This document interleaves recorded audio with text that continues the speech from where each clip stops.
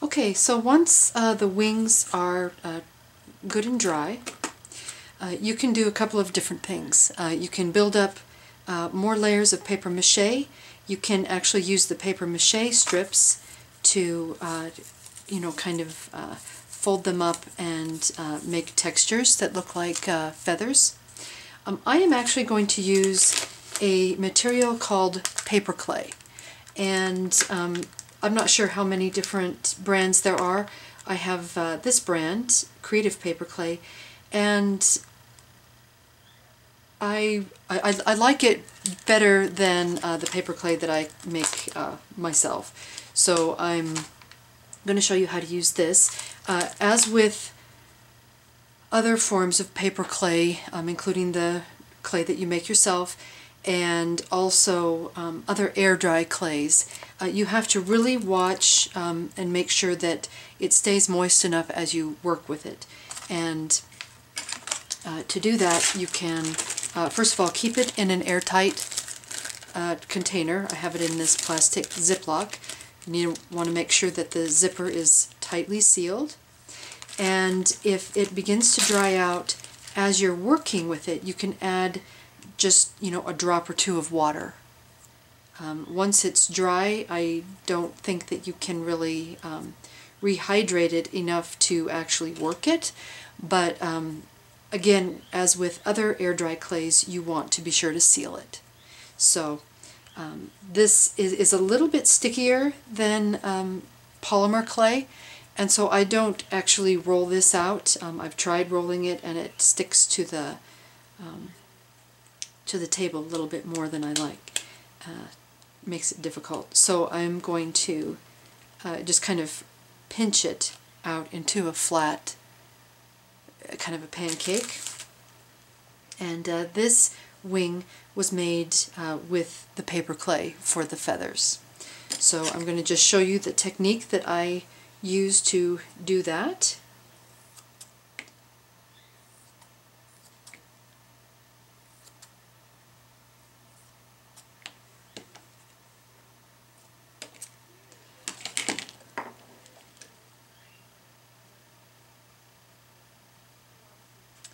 Okay, so um, the first thing that I'm doing is making each individual feather. And I'm actually going to move this one. This one isn't completely dry and I don't want it to get uh, wrecked.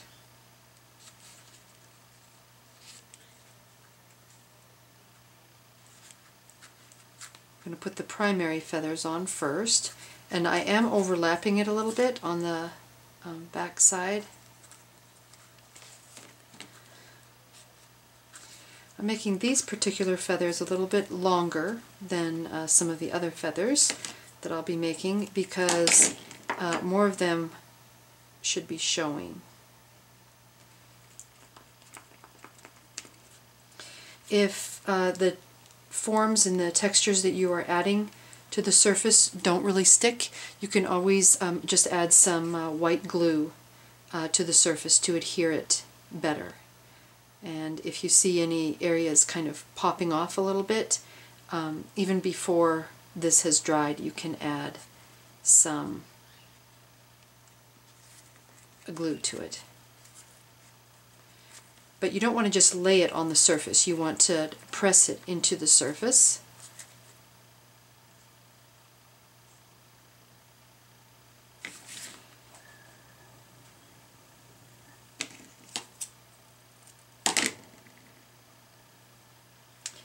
Then as these get, these primary feathers get closer, and in fact I actually want to overlap these a little bit more. See the, how the clay already started to adhere to the surface there? Pull away. That's what you want is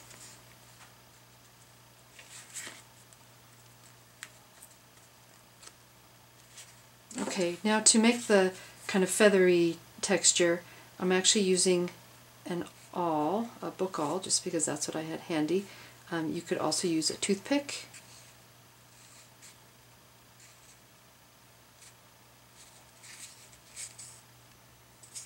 And I'm supporting the clay with my finger underneath as I'm texturing it, otherwise I would tear the clay. This clay is not um, super elastic.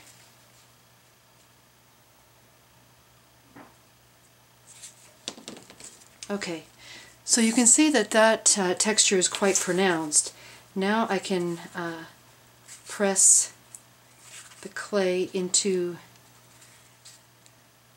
the support material a little bit more firmly and that kind of makes the texture a little bit more gentle so it's not quite so um, uh, dramatic. Okay, and then you just start layering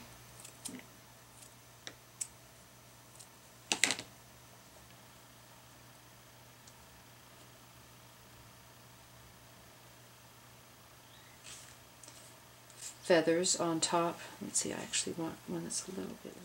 Um, try not to pick up the wing that you're working on with these feathers. Try to hold it, pick it up from other angles because uh, they are quite fragile. You can, uh, if, if one breaks, uh, you can easily fix it though by getting a just a scrap piece of paper and uh, putting just some white glue on it, either PVA or Elmer's or you know whatever brand you use, and uh, and gluing it to the back of it. Okay, and then when you paint it, you won't even be able to see it. So just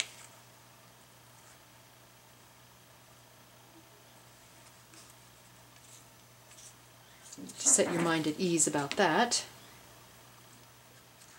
I'm trying to overlap them.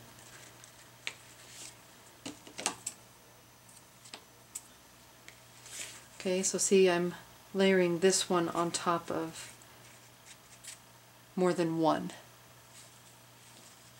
And once again, supporting the feathers that extend beyond the paper mache support with I'm supporting them with my fingers.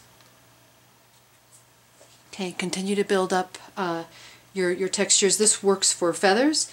This works um, could work for for hair, um, and it can also work for like scales, whether for reptile or fish or something. Um, obviously, you would do a little things a little bit differently. Uh, scales wouldn't have these uh, forms extended beyond um, the support, and um, and hair would, you know, obviously be shaped differently. But uh, this is one approach that you could use to uh, creating either of those as well. To create some uh, additional textures uh, for the head, I'm using some uh, puffy paint. Um, it's just uh, it's just kind of thick acrylic paint that is in one of these squeeze bottles and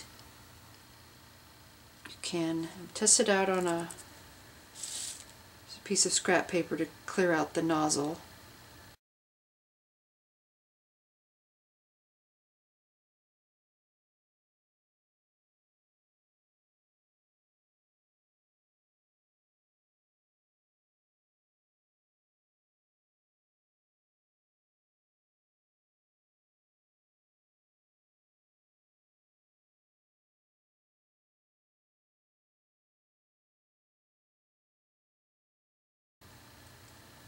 You can do this uh, before or after you paint it.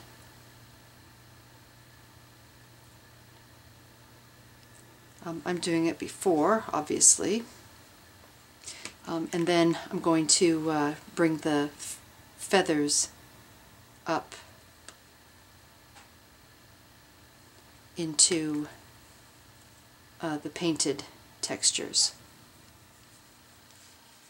Okay, welcome back.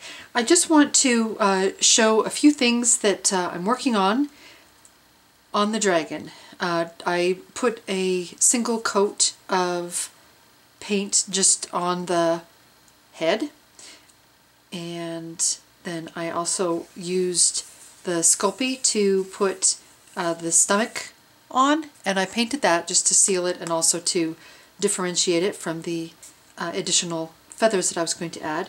I'm adding a row of feathers on this side and then I'm going to add a row on this side because I want those feathers to be underneath the layers above. So that's why I'm starting down here. I finished putting the uh, feathers on the tail, starting at the tip and then working my way down. Um, these uh, feathers on uh, the bum are still pointing upward. Okay, so they're continuing this line um, and then they are ending here. Okay, then I'm adding some additional feathers that are changing direction. Okay, they're starting here sideways and then they're gradually pointing down.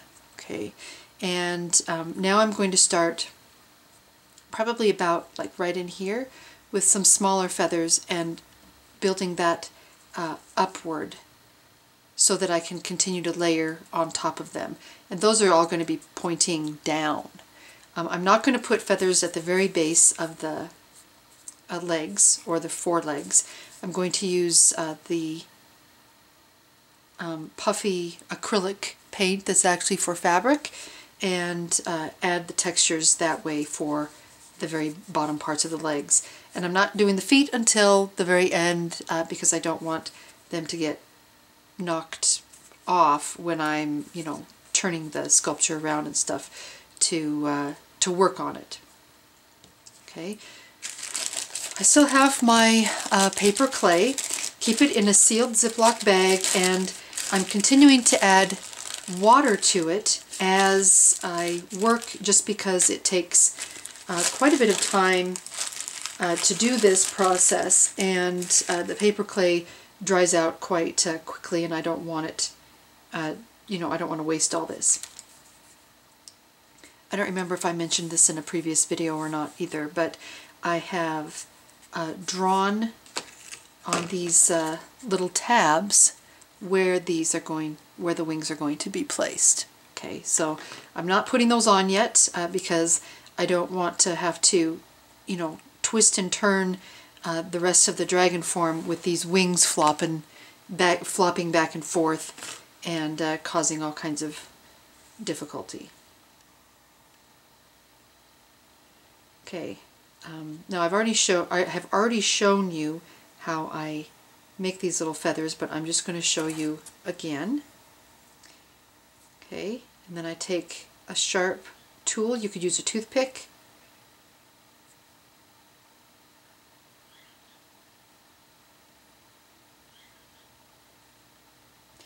I want these feathers to also look a little bit like leaves um, just because of the type of dragon that I'm making. Okay, so like that. And actually I meant to put some of this on first. I'm just using some white glue and in the areas that I am working I'm just adding a thin film of white glue.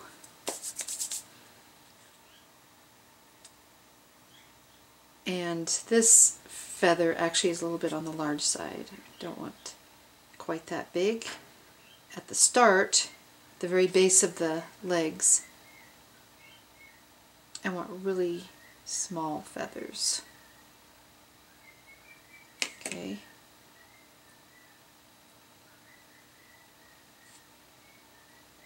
And then as I go up the leg, I'm going to increase the size.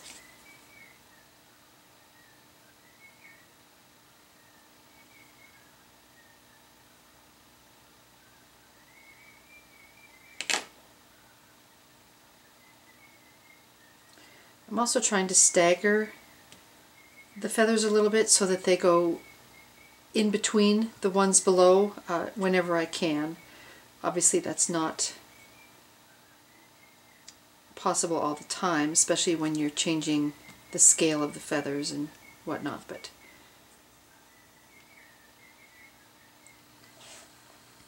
Before I attach the wings, I have most of the area of the feathers uh, added and um, now I'm painting it. I'm using acrylic paint and I thin it down with water and I kind of paint up into the feathers so that I can get underneath all of the different little uh, individual feathers so there, there aren't uh, areas of uh, blank.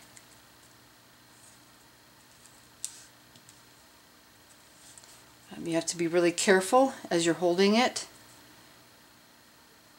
You can look at it uh, this direction and, and catch any little uh, spaces that you've missed.